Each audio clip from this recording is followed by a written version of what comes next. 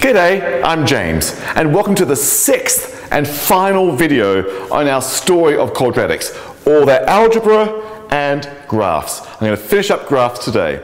In fact, we did graphing last video and ended on a very major point. And I'll go through that point in just a moment, but it's the point that actually makes all graphing very simple and powerful by using symmetry as our friend. That lovely story of symmetry. Mathematicians love symmetry. All right, so today, graphing made easy, finally. This is the graphing video that actually matters. All right, but before I begin, here's something very cute about quadratics. So I'm actually James Stewart Tanton. So my initials are JST. And look at this quadratic equation, negative 4x squared plus 21x minus 7. I actually like it very much. In fact, if I draw a table of values, x values and y values for it, if I put in x equals 1, I'll get negative 4 minus 7. That's negative 21 plus 21 makes 10. Y is 10. If I put in x equals 2, I get negative, uh, 16, negative 23 plus 42. Uh, I believe that's 2 gives 19. And if I put in x equals 3, just go 1, 2, 3 in turn. Uh, ooh, can you work it out? I know, you get 20. The reason I know that because let, let me tell, ask you this. What's the 10th letter of the alphabet? It's J. What's the 19th letter of the alphabet? It's S. What's the 10, uh, 20th letter of the alphabet? It's T. This is the quadratic that spells my initials, at least for x equals 1, 2, and 3, outcome JST. Actually, a lot of people know me as Jim, not James, as Jim, the nickname for James. And guess what? Put x equals 1 into this formula, out comes 10 for J. Put in x equals 2, out comes 9 for I. Put in x equals 3, out comes 13 for M. This quadratic actually spells Jim. Actually, you can go even further. If you want to go higher powers of x, you can spell James. Here's my personal polynomial. This is the formula that spells 10 for J, 1 for A, 13 for M, 5 for E, 19 for S. Put in x equals 1, 2, 3, 4, 5. Out comes 10, 1, 13, 5, 19. You can check it out. There it is. So my puzzle for you is, at least for the three-letter initials or three-letter names, how could I find a quadratic that spells a particular three-letter set of combinations? JST, Jim, cat, dog, Matt, any word you like with three letters. How would you find a quadratic that has the same property? And if you want to be very bold, just do it for any word of any length and get to higher powers of x. That's the puzzle for today. Okay, so here's the big takeaway from the last lecture.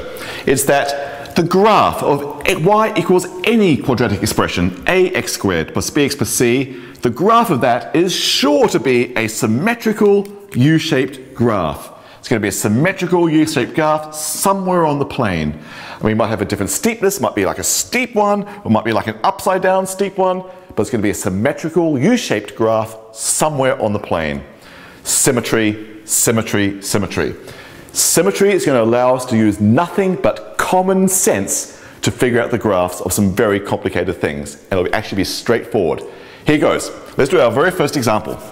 So, so let's forget everything we did last lecture and just use common sense from now on, knowing we've got symmetry and it's our friend. So if I suppose I asked you to sketch a graph of y equals x minus 3, x minus 7 plus 10.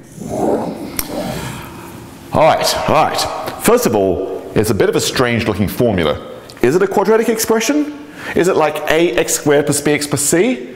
Well, not quite how it's written, but if I were to expand it out, I'd see x times x is x squared, minus 3x minus 7x is minus 10x, plus 21 plus 10 is plus 31. Yes, it is ax squared plus bx plus c from some set of numbers, so it is quadratic.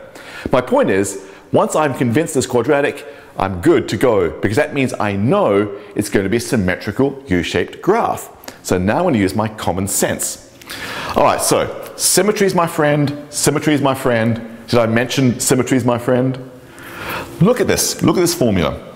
I can't help but stare at this and think, wow, there are two interesting x values in this formula. Can you see that x equals 3 is going to be interesting? And also x equals 7 is going to be interesting? In fact, if you put in x equals 3, you will get that y equals 0 times something, 0 plus 10, y is 10. And if you put in x equals 7, you get y is something times 0, 0 plus 10. You get that y equals 10. So both 3 and 7 give the same height of 10. I at least plot those two points on my graph. So let me plot those two right now.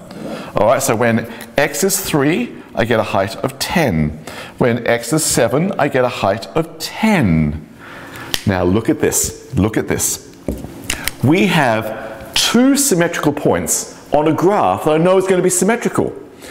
Common sense tells me, oh, I must have a U-shaped graph something like that.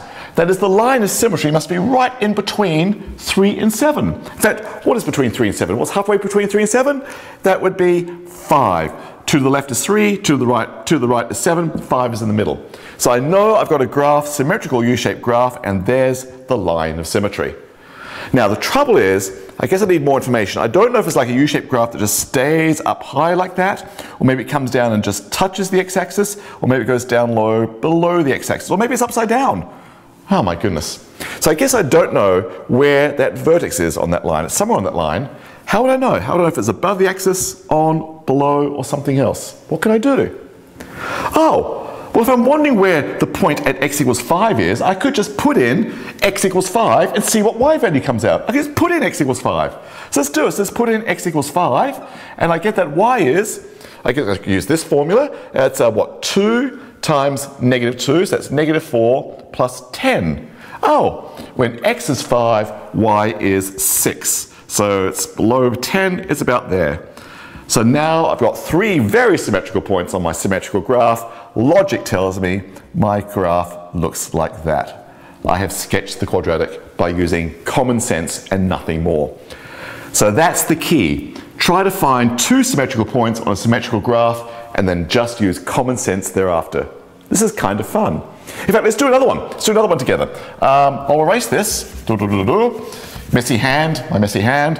Uh, we'll change our answer of our question to, let's please sketch a graph of negative 2 x plus 5 times x minus 5 minus 4.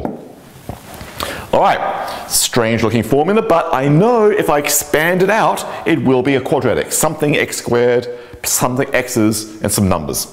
Great, it's a quadratic. So I know it's a symmetric U-shaped graph somewhere on the plane. So the question is now is, can I just find two interesting symmetrical points on this symmetrical graph? And the answer is yes, because there are two interesting x values staring me in the face right now. I think x equals negative 5 and x equals 5 are both interesting. So if I put in x equals 5, x equals 5, I will get 0, negative 2 times something times 0, minus 4. y would be negative 4. And when x is negative 5, negative 5 is 0. So all that 0 minus 4, I again get y is negative 4. So when x is 5, y is negative 4 down here. So 5, negative 4. And when x is negative 5, it's also negative 4. There we are. Two symmetrical points on a symmetrical graph. So I know the line of symmetry. I mean, it's going to be some U-shaped graph like this or upside down. Who knows which way it's going? Actually, I think I do know, know which I do know which way it's going. I see it's going to be negative 2x squared. So it looks like the steepness is going to be negative 2. Okay, so that's an upside down graph. But, but how can I find out? So let's see, common sense. Um, well, the line of symmetry has to be right between negative 5 and 5. So the line of symmetry is right here. So it's a graph with its vertex somewhere on that vertical axis. But how high or low do I draw it? Well, I can just put in x equals 0 to see if it's up here or down here or down here. Let's do it. Let's put x equals 0. So when x is 0, y equals negative 2 times 5 times negative 5. So that's what? Negative 25 uh, times negative 2. So that's, um, that's 50. Take away 4, so that's 46. So when x is 0, it's actually at height 46. Pretty high up there. All right, no worries, because now I can see what the graph is. The graph must be an upside down symmetrical U-shaped graph like that. And there's a beautiful sketch. Do you get how fabulous this is? Do you see it? Do you see how wonderful it is? In fact, let's do one more, one more, and then I'll show you what's really going on for the general, general questions one's given. All right, here goes. One more. I'll let you try this one first and then I'll do it as well. So let's please sketch me a graph of x times x minus 4 plus 7.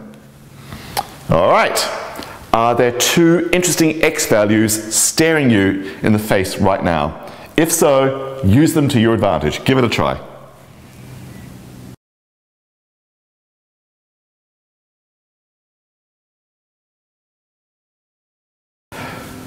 Okay, this little x all by itself might be confusing. I mean, if you like, I could think of this as, let's do it in blue, uh, y equals x minus nothing times x minus 4 plus 7.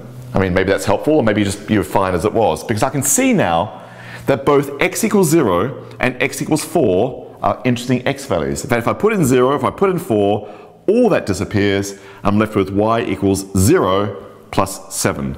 So when x is 0, I get y is 7. If I can really see it there. If I put x equals 4, I get that y is 7. All right, so this is a quadratic expression. It's got some x squared, some x's, and some numbers. And I've got two symmetrical points on a symmetrical graph. Therefore, I now know everything. Common sense is the rest of the way. All right, so let's draw what we have so far. So it's 0 and 4. 0 and 4, it both has height 7, so 7 and 7. Great. The line of symmetry must be zip in between, right at x equals 2. Great. I don't know if the graph is like dipping just above the axis, maybe it just touches the x-axis, maybe it goes all the way down below the x-axis. I don't think it's upside down. I think I've got like a 1x squared, so I have a feeling it's going to be upward facing. Well, to find out how high or low it is at the line of symmetry, let's put in x equals 2. At x equals 2, I get that y is 2 times negative 2, that's negative 4 plus 7 is 3. At x is 2, it's 3, and now I can see what the graph is doing. Beautiful, beautiful, beautiful, beautiful. Look at that. There's a picture of my graph. And in fact, in fact, if you like, I could answer questions about it. I can see the vertex has coordinates 2 comma 3 and I can see it crosses the y-axis at 7 so the uh, y-intercept is 7 and well, maybe, maybe I can say other things about it as well. So if I'm asked other questions about it I think the picture will lead my way. Beautiful beautiful indeed. Now actually burn that example in your brain. Memorize that one because I'm about to erase it and we're about to do another one right now. But this example can be handy. So memorize that. Have a quick mem memorize, memorization of that, and now I'm about to clean the board and we'll do another example. Back in a moment.